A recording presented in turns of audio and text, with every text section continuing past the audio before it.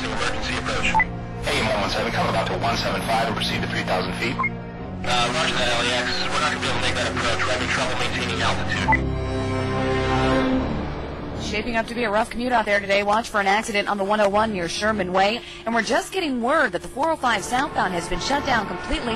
It's like some sort of police activity's got it cleared for a two-mile stretch from the 118 all the way up to Victory.